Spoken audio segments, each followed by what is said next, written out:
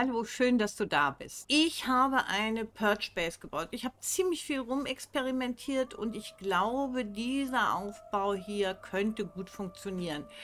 Ähm, mir war wichtig, dass es eine relativ kleine Fläche ist, dass es überschaubar ist, dass es sich möglichst selbst verteidigt. Das heißt, wir haben hier eine runde Form. Das könnte man sicher auch in einer eckigen Variante bauen. Und wir haben so eine Art Labyrinth. Das heißt, da kommen die Gegner rein, müssen dann hier rumgehen und kommen hier irgendwie dann auf der linken Seite irgendwann hier zu dieser, hier unter mir steht die Schatzkammer.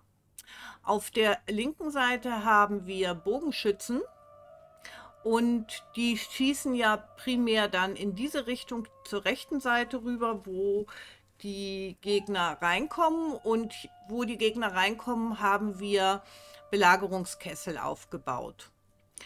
Die Kämpfer, also insbesondere natürlich meine Kämpfer, die hier in der Verteidigung stehen, die sind äh, nicht alle ausgelevelt. Dafür sind zu viele gestorben bei meinen Tests. Und diese beiden hier sind voll ausgelevelt. Das ist einmal die Dalentia und eingestellt sind die Kämpfer, die also in den Nahkampf gehen, alle auf Halten, also die Position hier zu halten und angreifen in einem relativ kleinen Radius und auch jagen im kleinen Radius.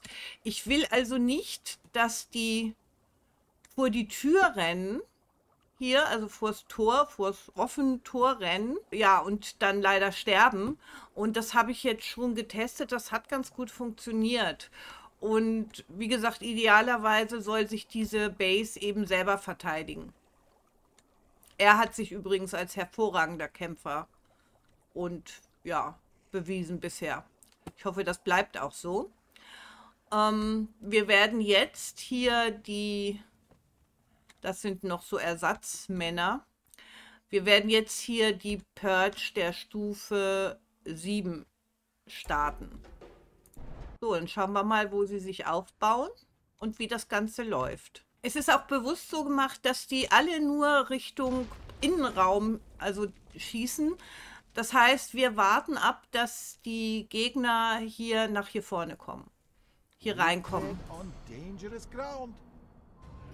Ja gut, damit sollten wir überhaupt keine Schwierigkeiten haben. Insbesondere ist mir auch wichtig, dass wir nach Möglichkeit so wenig wie möglich von unseren Thralls verlieren. Und ich glaube, das geht mit diesem Aufbau hier am besten. Und das Ganze natürlich kombiniert mit den Einstellungen im Kampfverhalten der Thralls, die ich euch eben gezeigt habe.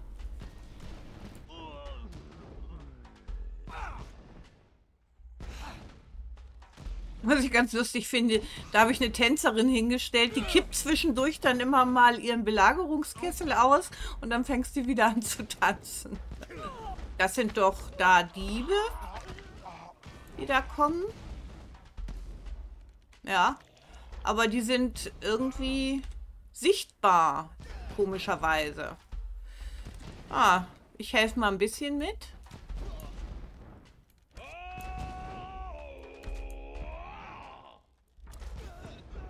Also das mit dem Halten funktioniert meiner Meinung nach am besten. Zumindest wenn du es so gebaut hast, dass, äh, ja, dass die Gegner einfach durch, durch so ein Labyrinth laufen müssen.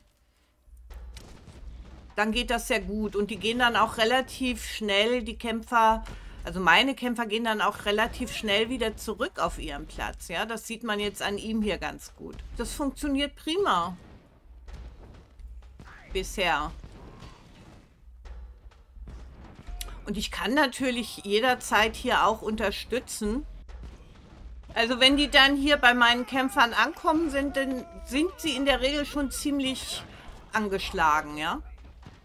Und sie werden halt durch das Teer abgebremst, beziehungsweise durch das äh, brennende Teer dann natürlich auch verletzt.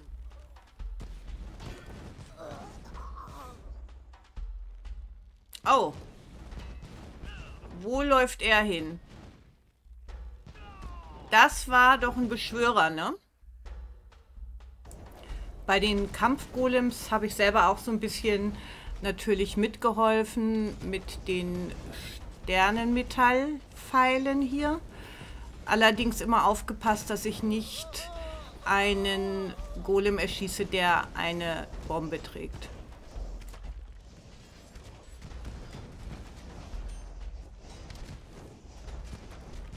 Also die halten sich meistens schon da auf. Und die mit den Explosionsköpfen. Oh, da kommen welche mit Explosionskopf. Das ist nicht so gut.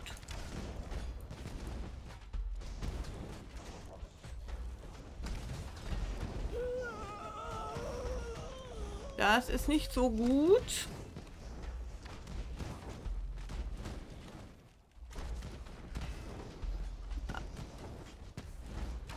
Da ist... Ah, nee, ist niemand gestorben.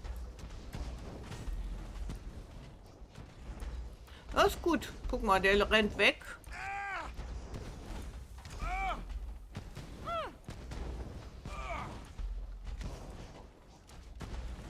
Keine Munition mehr, okay. Also, ich glaube, das ist so bisher die beste Base, die ich gebaut habe. Hm. Haben wir einen Berserker verloren? No longer reach the Koffer? Warum? Warum?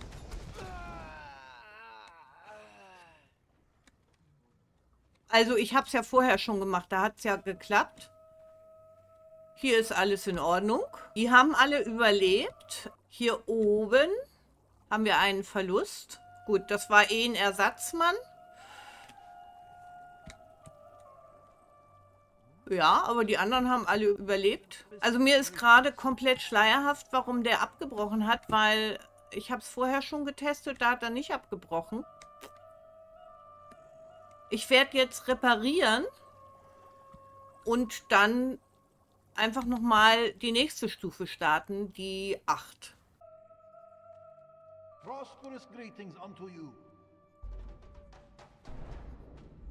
So.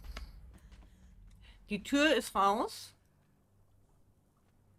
Wir haben eben gekämpft, dann hat er wieder abgebrochen. Sie haben sich aufgebaut, das ist ja schon mal was. Ich kann mir nur vorstellen, dass wenn da irgendwann zu viele Leichenteile liegen, dass sie sagen, okay, sie können da nicht mehr drüber steigen oder so. Oder nicht mehr durchlaufen. Also das wäre für mich so die einzig, einzige Erklärung, die mir noch einfällt.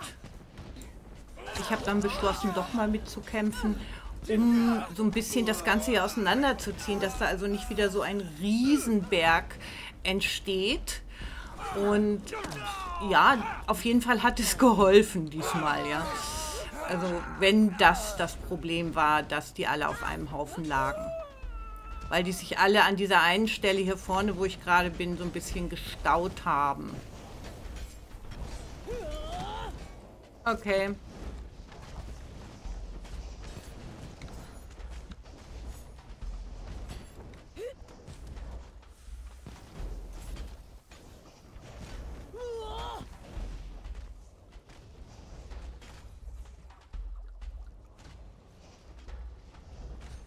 Ja, wenn die darum klopfen, das stört mich ehrlich gesagt wenig. Ja, und ich werde den Teufel tun, die da irgendwie versuchen zu stören bei ihrem Handwerk da.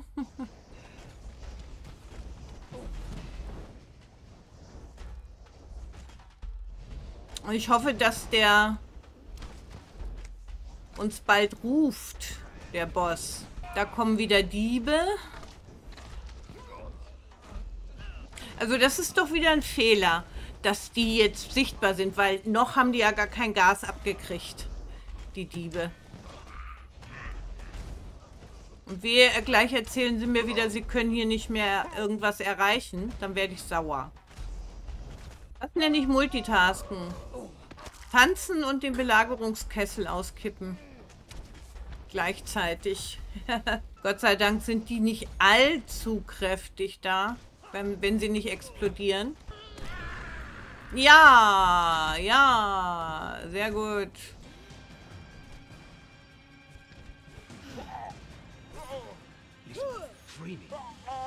Das war's. So, ich glaube, das haben wir sehr gut überstanden. Ja. Unsere Base hat überlebt. Zack, da sind sie weg.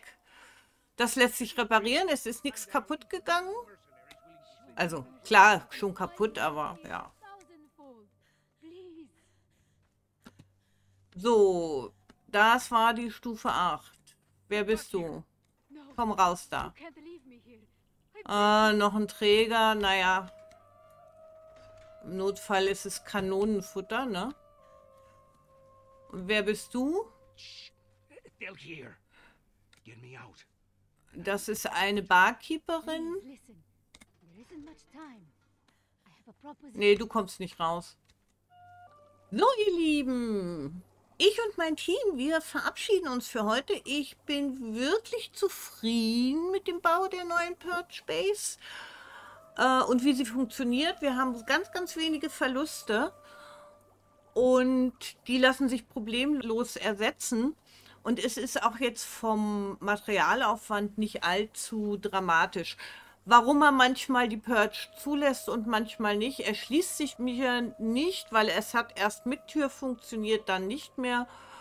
Dann hat es ohne Tür nicht funktioniert und eben hat es geklappt und ja, also keine Ahnung, ich habe gedacht, vielleicht war der Berg der zerstörten Golems irgendwie zu hoch, dass sie meinten, sie konnten da nicht mehr rüberkommen oder so. Aber ja, keine Ahnung. Ich hoffe, es hat euch gefallen und wir sehen uns im nächsten Video. Bis dann. Ciao.